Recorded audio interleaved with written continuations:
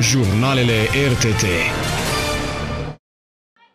mai bine de 700 de sportivi amatori și cei mai buni duatloniști din România, duminică, au luat startul la ediția de anul acesta a crossului 15 noiembrie. Evenimentul sportiv organizat în memoria revoltei muncitorești din 1987 a avut primul start în 1990 și de atunci se desfășoară neîntrerupt în fiecare an, astfel că este cea mai veche competiție de atletism din România, care s-a desfășurat fără întrerupere. Crossul se desfășoară pe exact același traseu pe care l-au urmat muncitorii în ziua care nu se uită, 15 noiembrie 1987. Traseul are o lungime de 5 km și leagă platforma Roman de zona Modarom, unde a fost punctul terminus al manifestărilor. De fiecare dată uh, e un moment uh, important pentru brașoveni și un eveniment care adună sute mii de participanți, crossul tradițional de 15 noiembrie.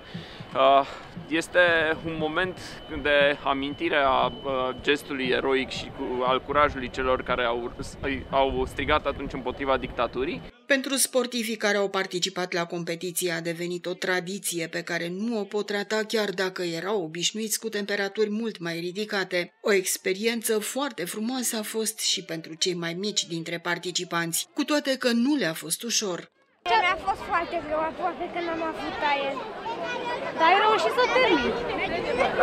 Ce a fost mai dificil, să mergi pe bicicletă sau să alergi? Să merg pe bicicletă. Și la tine? Să alerg. Mă cheamă Diaconul Paul și am 8 ani. Și de cât timp alergi tu și mergi cu bicicleta? Aproximativ 2 ani. Și ai mai participat la concursuri? De triatlon nu, dar altele da. Și ce ai reușit să faci la concursurile respective? Uh, am reușit să ajung ah, ai bine. Alesia și am 8 ani. Și de cât timp mergi cu bicicleta și alergi?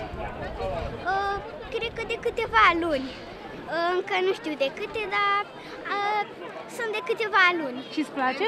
Da, foarte mult. La ediția din acest an, pe lângă clasicul cross, au fost organizate mai multe competiții, inclusiv triatlon și o cursă de duatlon pentru cei mici.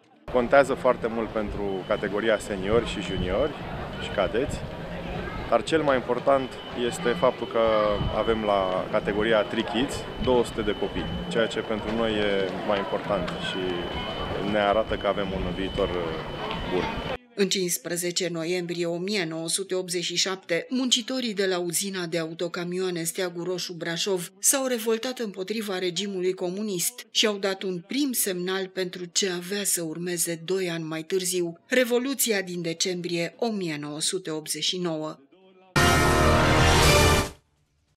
Obișnuința de a cumpăra de pe internet i-a făcut pe mulți dintre români mai receptivi la ofertele online de Black Friday. 600 de mii de români au făcut cumpărături de peste 730 de milioane de lei, ceea ce reprezintă un nou record. Acesta este rezultatul de Black Friday al unui retailer online care comercializează produse cu livrare la domiciliu, ridicare de la sediul companiei sau prin cutii securizate. Cele 2,8 milioane de produse vândute în acest an reprezintă o creștere cu 26% față de anul trecut. Mai mult, creșterea din 2022 față de 2021 era de 35 de milioane de lei, pe când creșterea de anul acesta este de 87 de milioane de lei. Ediția cu numărul 13 a Black Friday s-a dovedit una cu noroc atât pentru magazine cât și pentru clienți, dacă ținem cont de creșterea importantă a numărului de tranzacții. În medie, un cumpărător a comandat 4,8 produse, iar prețul comenzii a fost de 1367 de lei. După valoarea medie a comenzii, județul Iași este primul, urmat de Sălaj, Cluj și Bistrița Năsăud, iar înaintea Bucureștiului se mai află și județul Dolj. Printre produsele speciale comandate s-au numărat 1800 de nopți de cazare, peste 5600 de bilete de avion, 22 de automobile, dar și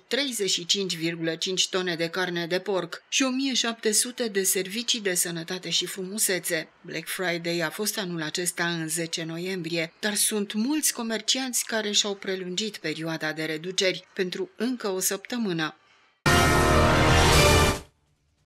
Este pe cale să se rezolve problema cărților de identitate permanente pentru persoanele defavorizate. Situația a fost discutată în cadrul întâlnirii pe care prefectul Mihai Cătălin Văsi și subprefectul Ambruș Izabela Agneș au avut-o luni cu reprezentanții Asociației Partida Romilor Pro-Europa și ai organizației Expert Forum. S-a discutat pe tema prevederii legislative introduse de legea 162 din 2023 pentru modificarea și completarea ordonanței de urgență a Guvernului 97 din 2005 privind evidența, domiciliul, reședința și actele de identitate ale cetățenilor români. Un nou aliniat prevede că în cazul persoanelor defavorizate care nu pot face dovada adresei de domiciliu, aceasta se înscrie în baza adeverinței eliberate de unitatea administrativ-teritorială, din care rezultă adresa la care se stabilește domiciliul. În opinia organizației Expert Forum și a Asociației Partida Romilor Pro-Europa, această prevedere este de natură să rezolve problema eliberării cărților de identitate permanente pentru persoanele defavorizate, în special pentru locuitorii așezărilor informale, care din diverse motive nu pot face dovada adresei de domiciliu și cărora din acest motiv li se eliberează doar cărți de identitate provizorii. Ideea care a reieșit din discuțiile cu reprezentanții celor două organizații a fost necesitatea unei practici unitare la nivelul unităților administrativ-teritoriale din județul Brașov în această privință. Am manifestat întotdeauna deschidere față de toate demersurile care vin în sprijinul cetățenilor din comunitatea județului Brașov și așa voi proceda și în continuare.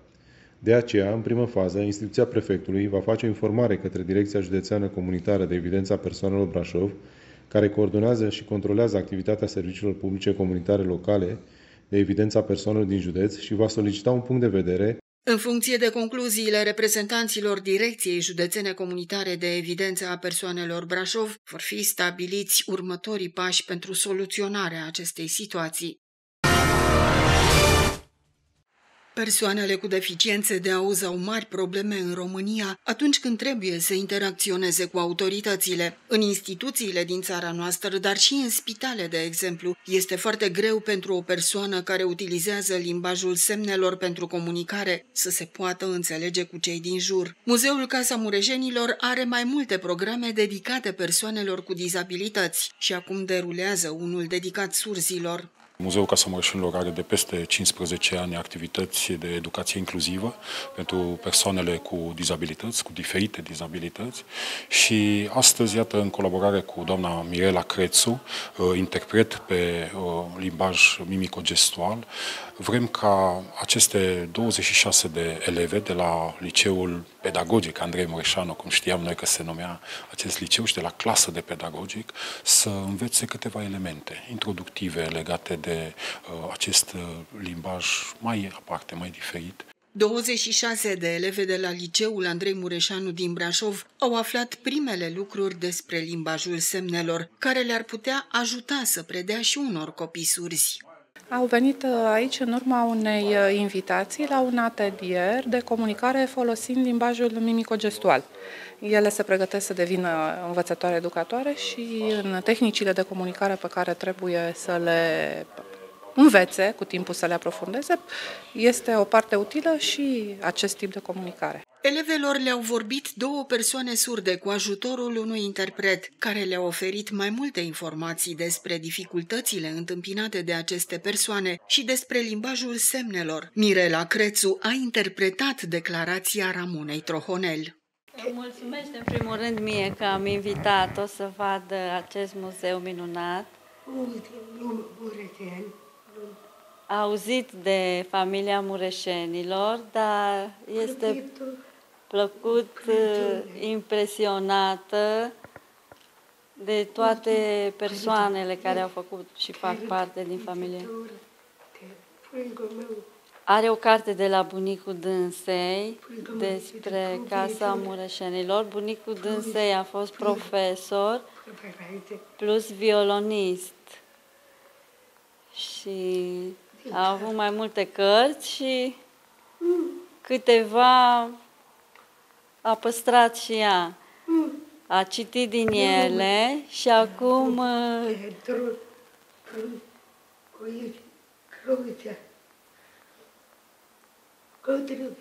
Este impresionată că regăsește aici persoanele despre care a citit uh, în acele cărți. Inițiatorii spun că își doresc ca programul să fie un prim pas pentru ca un număr cât mai mare de persoane să cunoască măcar în parte limbajul semnelor pentru a putea veni în sprijinul celor cu deficiențe de auz care comunică prin acest limbaj. Procurorii parchetului de pe lângă Tribunalul Brașov au închis o pensiune din Moeciu de Jos. Împreună cu polițiștii Serviciului de Investigare a Criminalității Economice, au instituit sechestru asigurător și pe terenul aferent pensiunii. Valoarea bunurilor asupra cărora s-a pus sechestru este de aproape 2 milioane de lei la nivelul anului 2017, când s-a încheiat activitatea infracțională a proprietarilor acestora. Trei persoane fizice sunt cercetate pentru evaziune fiscală și de lapidare. În timp ce firma care administra pensiunea este cercetată pentru evaziune fiscală. Din cercetări a rezultat că în perioada 1-1-2011,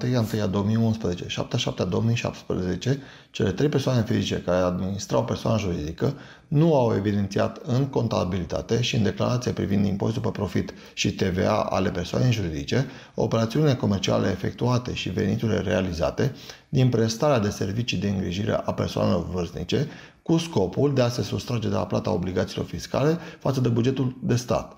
Prejudiciul a fost stabilit în cuantum de 1.070.000 și 772 lei. Direcția Generală Regională a Finanțelor Publice Brașov s-a constituit parte civilă în procesul penal cu puțin peste un milion de lei. De asemenea, în perioada 1 ianuarie 2011-3 august 2022, suspecții persoane fizice au dispus înregistrarea în evidențele contabile ale persoanei juridice de cheltuieli nereale, în baza unor facturi emise de pretinși furnizori de combustibil combustibil, materiale de construcție și produse farmaceutice. Pe de altă parte, aceiași suspecți au dispus efectuarea de plăți din casieria persoanei juridice, justificate ilegal, și astfel și-au însușit diferite sume de bani.